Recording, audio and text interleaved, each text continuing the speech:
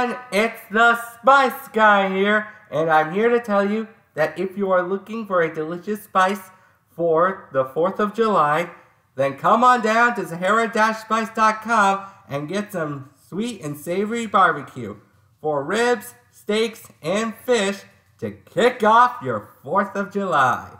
Spice on!